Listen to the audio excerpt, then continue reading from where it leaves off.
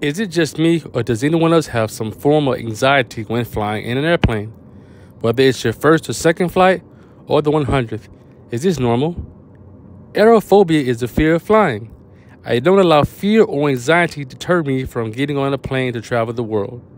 I refuse to allow turbulence to become a stumbling block in the path of me completing what most would call a bucket list. It's never too late to live life to the fullest. I tell myself I can't conquer the world if I don't travel to see it. Just look at the beautiful sky from above the clouds, ocean, waves, and terrain. It's cool just seeing the engine and wing on the plane in action. I encourage you to get on the plane and visit a loved one, or gaze on the most beautiful sight known to man in your eyes.